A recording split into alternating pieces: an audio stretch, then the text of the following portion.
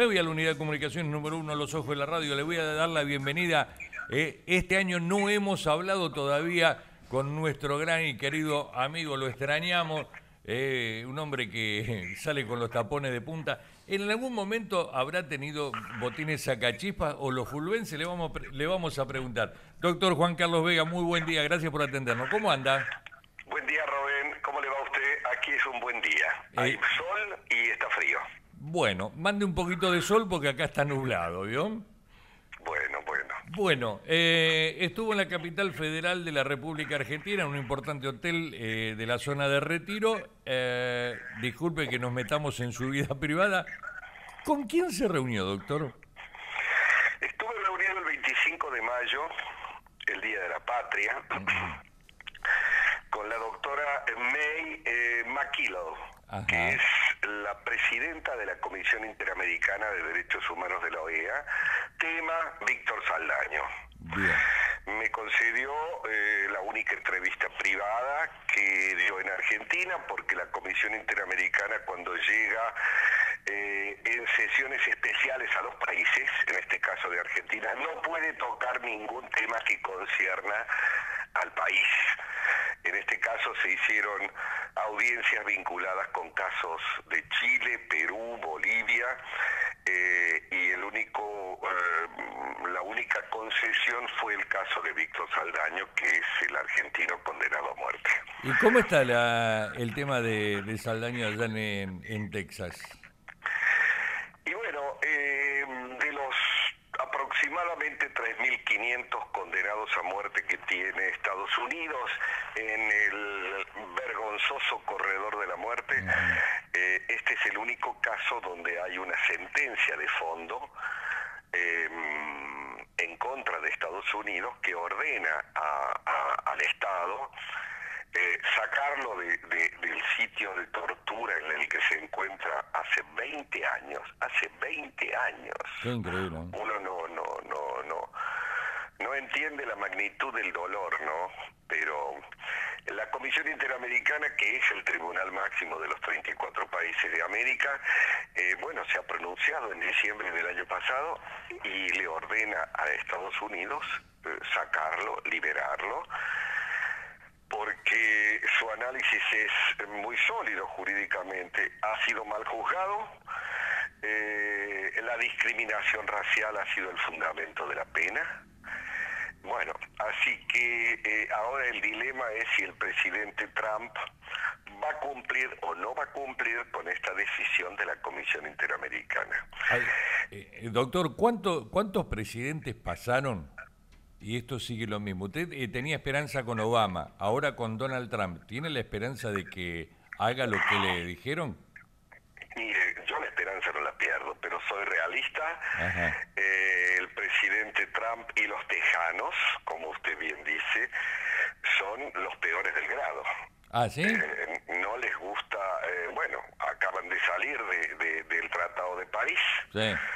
sobre el cambio climático, así que no creo que les haga ninguna gracia cumplir con esta decisión de la Comisión. Lo que pasa que eh, también es cierto que si lo matan, eh, que si le inyectan la inyección letal, eh, va a ser un escándalo internacional porque aquí hay una sentencia que declaró que la condena a muerte es, es, es nula. Bueno, pues, hablando en criollo, ¿y por qué no le dan pelota? Porque mm, eh, Estados Unidos en, en general y el presidente Trump en particular y el estado de Texas de manera muy particular no quieren dar eh, pelota a nada que no sea America First. Ah, qué bien, ¿eh? Es así, es así, es así. El derecho internacional no les interesa demasiado. Eh, y aún con, con- con el revestimiento de derechos humanos no les interesa. La pena de muerte es eh, mm, consensuada por los americanos. Los americanos les gusta la pena de muerte. ¿Ah, sí? El 70% de la sociedad, eh, eh, medido, medida por encuestas anuales, el 68 al 70 eh, adhiere la pena de muerte. Está bien, pero eso no baja el, el índice delictivo en Estados Unidos. No, no baja los índices de criminalidad. Usted tiene allá 50 eh, estados, 32 que tienen la pena de muerte, 18 que no la tienen, y los índices de criminalidad urbana son los mismos. Y bueno, entonces digo yo, me parece que están eh, mirando, haciendo las cosas al revés. No, bueno, que vamos ojalá, ojalá que esto se pueda tener. Eh, usted ya estuvo, estuvo con la mamá de Saldaño en, con el Papa. ya, ya, ya yo creo que otra cosa, ya, o sea, ninguna otra personalidad, eh, si estos muchachos no se ayornan a, a lo que dice el resto del, del, mundo, me parece que no sé, qué creen. Eh. Bueno, vamos, vamos a volver a, a nuestro país. Eh, qué bolón que hay por todos lados, ¿no? Bueno, pero es, el, es la dinámica argentina. Sí, pero a ver. no ha habido bolón. No, no, no, no, no, no. A ver, doctor. Estamos tomando la mesa de café ahí sobre la cañada, 27 de abril. Eh, el, tema Odebrecht eh, nunca se pensó eh, que iba a saltar y que Brasil iba a meter preso a, a toda esta gente. Vamos a ser sinceros, ni usted ni yo pensábamos esto. Es cierto, eso es cierto. Lo que pasa es que eh, a toda América Latina y en particular Argentina venimos arrastrando eh, esta cloaca que es la, la, corrupción desde hace muchos años. Nosotros somos el subcontinente que tiene mayores índices de corrupción.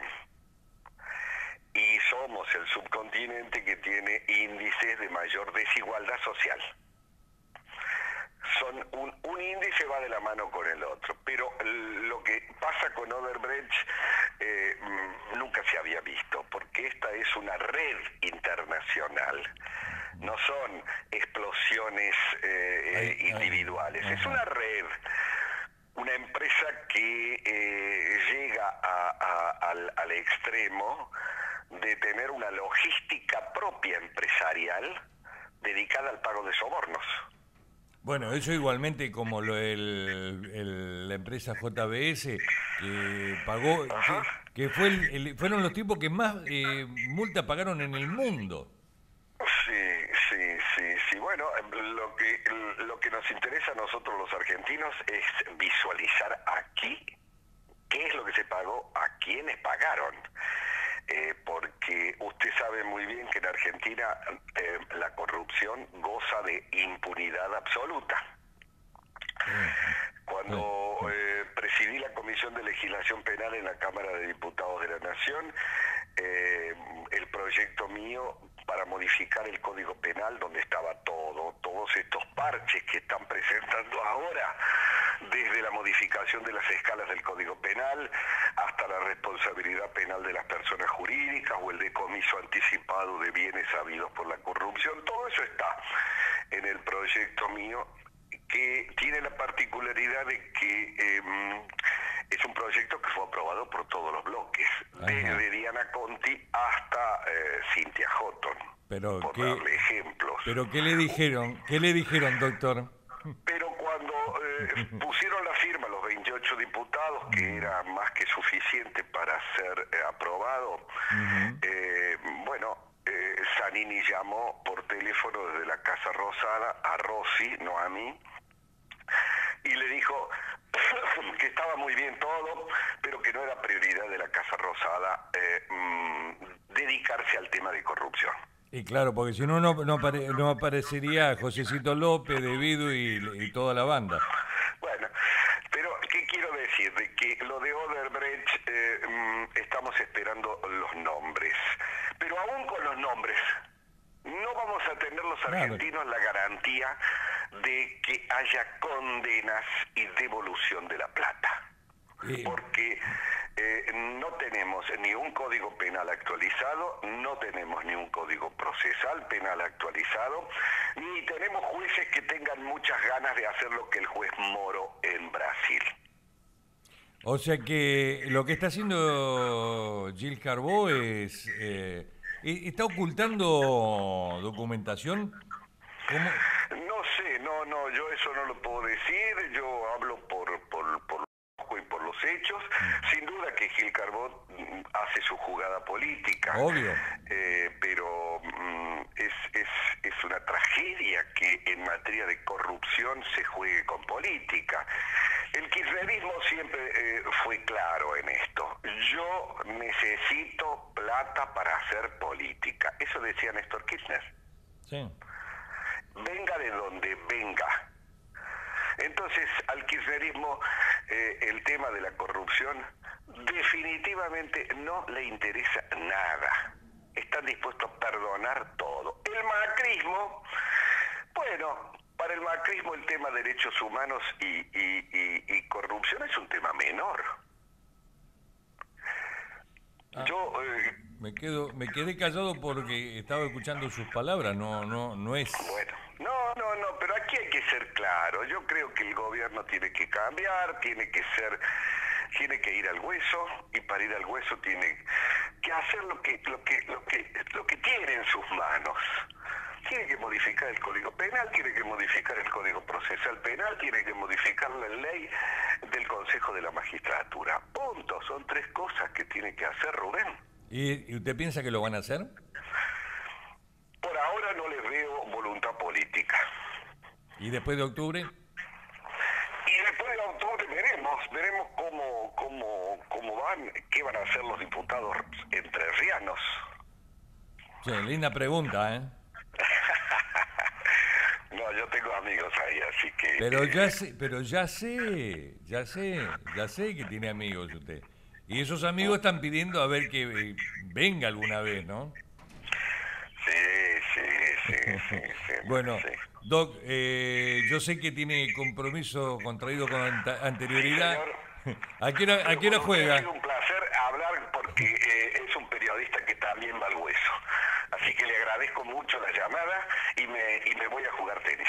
El abrazo de siempre, doctor, y lo, lo esperamos con los brazos abiertos. Gracias, chao. Hasta luego.